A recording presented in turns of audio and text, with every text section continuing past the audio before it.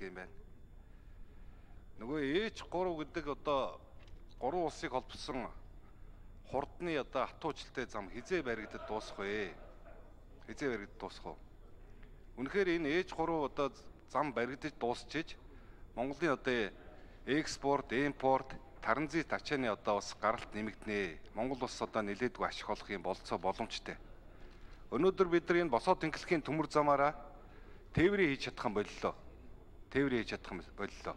Өнөөдөр таван толгойн бүх нүүрсүүд Дорногов аймгийн Далан жаргалан, Говьсөнбөр аймаг дээр овоорч байна. Энэ төмөр зам чинь тээврийн хийж чадах юм боллоо. Тийм учраас энэ хатуу учлалтай энэ H3 хүнд даатын замаа яаралтай барьж дуусгаач. Хизээд барь дуусгах юм бэ гэдэг дээр нэгдүгürt нэг хариулж хэлээ. Хариулт хэлж өгөөч. За хоёрдугаар асуудал дээр та хэд маань энэ замын үүд дээр жоохон анхаарал өгөөч. Нэг бол одоо аймгийн засаг дарагт нь сумын засаг дарагт нь орхичихоо. Та хэдээс хамаагүй илүү ажиллана. Ядаж одоо цаа талаа хятадын талтайгаа шууд харилцаа холбоо тогтоож чадах хүмүүс ажиллаж байгаа юм чинь. Өнөөдөр хятадын тал 0 цэг дээр терминалаа өргөтгөөд томруулчаад байхад өнөөдөр Монголын 0 цэг дээр терминал терминалаа хийж чадаагүй өргөтгөж чадаагүй сууж штэ. Тэг 119 дугаар анги Килийн зэргийн Тэг 119 дугаар анги Кин гэдээ орхисон. Хятадууд одоо энэ чингэлгээ нэмэгдүүлмээр байна гэдээ яриад идэг. Монголын тавнд хүлээж авах терминалаа үндсэндээ одоо өргөтгөж чадаагүй сууж штэ.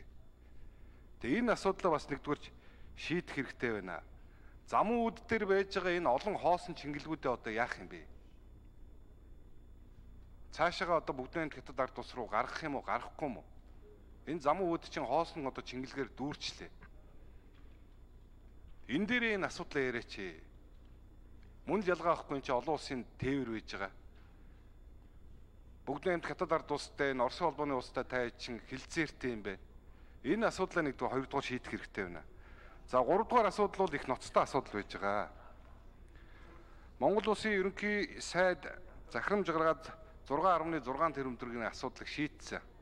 Энэ чингэлэг тээврийн үйл ажиллагааг хэвийн нөхцөлд оролцуулах Үүний дагуу одоо маш олон хүн замун үдээр очиж ажилласан. Автоэрийн үндэсний төвийн 10 хүн ажилласан. Монголын төмөр замын 2 хүн, хил хамгаалах ерөнхий газрын 27 хүн, зэвсэг түвшний 57 хүн, цагдаагийн ерөнхий газрын 10 хүн гээд маш олон хүн одоо очиж ажилласан. Тэгээ замун үдэд буусан энэ буудлынхаа мөнгийг хоолныхоо мөнгийг төлөөч ээ таад. Төлөөч нэртэй устай чинь одоо замун үүдийн замун үүдийн засаг дарга зарлаа шүү гэдэг асуудал яригдэж байна. Тэр замун үүд тайдын идэж уусан 1.3 тэрбум төгрөгийг төлж чадахгүй. Төлж чадахгүй. Тийм учраас тайд ажил зохион байгуулсан бол чингэлэг тээврийг одоо эхлүүлээд явж байгаа бол тэр идэж уусан байрлсан буудлынхаа мөнгийг бас төлөөч. Өмнөөс чи одоо ичж байна. Тэгээ энэ асуудлаа шийдээч гэд. За ийм гурван асуултыг асууя.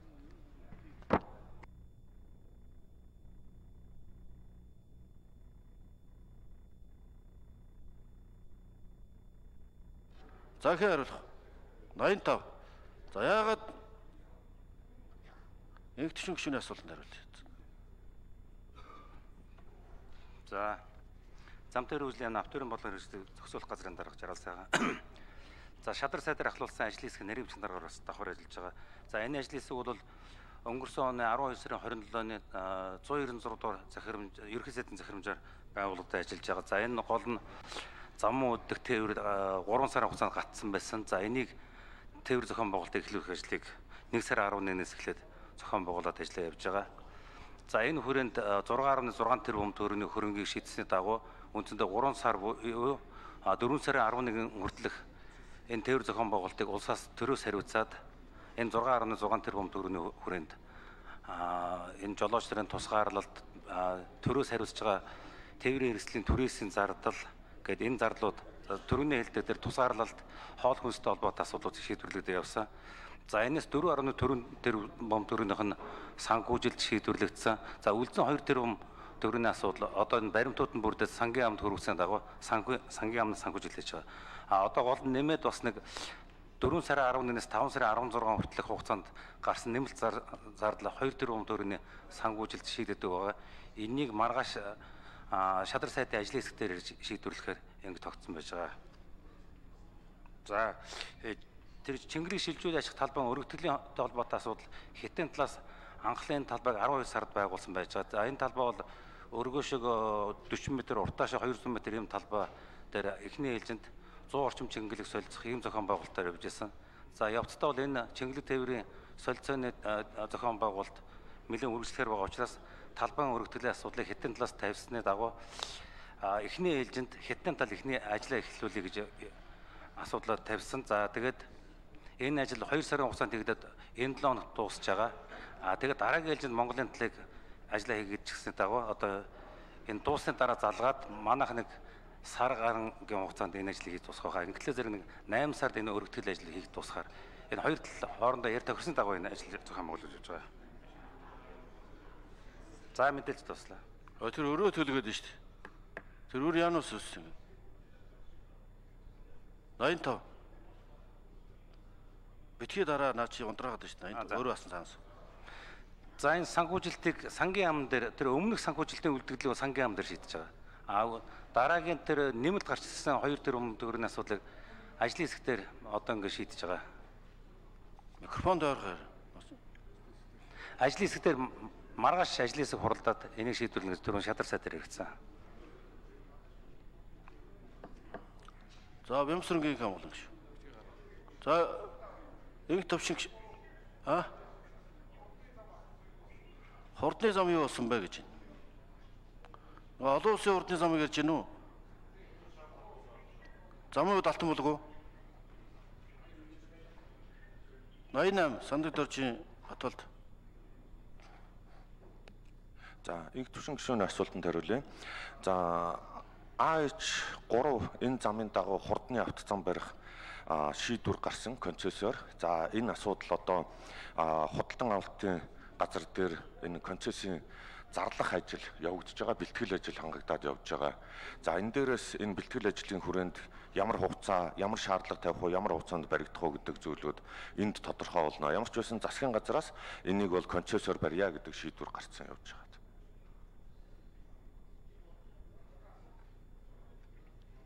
За төмөр тогоогийн төшөг шин тодруулчихсан. 1 минут. За энэ ажлын хэсэг ажилласан энэ 1 тэрбум 372 сая төгрөгөө одоо бас ойрын хугацаанд бас төлөөд тэнд үйл ажиллагаа явуулж байгаа тэр хоолны газар зочид дуудлуудын өрөө одоо яралтай төлчээрэй гэж одоо нэгдүгээр төсөж байна. Хоёрдугаарт энэ мөнгийг бол жолооч нар тусгаарлалтанд одоо байгаад үрдсэн юм биш шүү. Энэ автоврын үндэсний зүйн 10 хүн, хил хамгаалах ерөнхий газрын 27 хүн, зэвсэг түвшний 57 хүн, цагдаагийн ерөнхий газрын 10 хүн, гайлын ерөнхий газрын 2 хүн гээд нийт 117 хүн бол энэ мөнгөний тооцоо бол ингэж гарсан юм байлээ шүү гэдгийг хэлмээр байна. Тийм учраас энийг хурдан төлж. Хоёрдугаар тийм замаг үд дээр хилийн цэргийн 30 машин явж байгаа. 30 машин явж байгаа. За тэр жолооч нар нь бол одоо хил хамгаалах ерөнхий газрын жолооч нар ингээд тэрийг барин явж байгаа. Орон нутгийн нэг 50 машин болсон 40 машин байж байгаа. Одоо тэр хил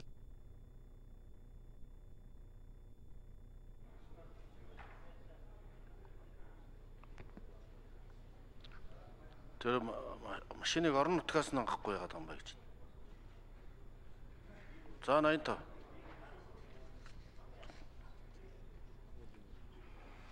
За ерөөхдөө 5 сарын 16 хүртэл бол энэ төрөөс зардал хариуцжсэн энэ тээвэр зохион байгуулалтын хүрээнд төрөөсийн машинуудаар тээвэрлэлтийг зохион байгуулж явж байсан. За 5 сарын 16-наас хойш замун үд бүртгэлтэй 1000 гаруй машинуудаас өдөрт 40-оос 60 машиныг тээвэрлэлтэнд оруулаад шинэ зохион байгуулалтаар явж байгаа. За энэний өмнөх тээврийн зарлуудыг бол тэр нөгөө засгийн газараас батлсан хөрөнгө өрөө шийдэжсэн бол за 5 сарын 16-наас хойш иргэдээс энэ холбогдох зарлуудыг гаргаад одоо явж байгаа юм зохион байгуулалт явж байгаа.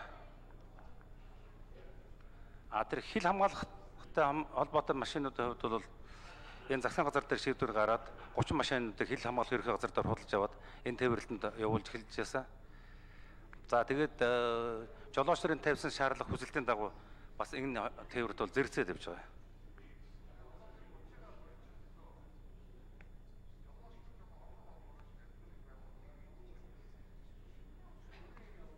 За тэрнийг тэгэхэд инх төвшин гишүүнд жиш тодорхой хариулт өгөөрэй. За улсын хурлын гишүүн Жадамбай Бат Эрдэнэ урилгаар Булган аймгийн Аршаант сумын Ерөнхий улс хурлын сургуулийн 1990 оны төгсөгчд улсын хурлын үйл ажиллагаа төрийн ордонтой танилцж байна.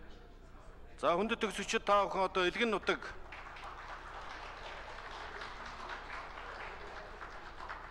За Аршаантын сургуулийн хүндэт төгсөгчд та бүхэн одоо элгэн нутаг төрлөх сургууль ачид багш нар найз нөхдөө өргөн дурсаж баярлан уулзах цаг мөчүүдэд дурсамж дүүрэн сайхан гөрүүлээрэ.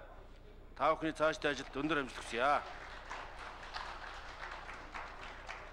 За Бямсрынгийн хамгаалан гишүүн асуулт.